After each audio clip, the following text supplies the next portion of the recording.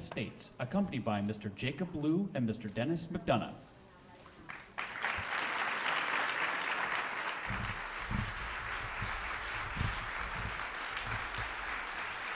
Thank you.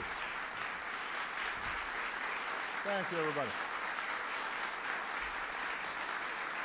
Please, everybody have a seat.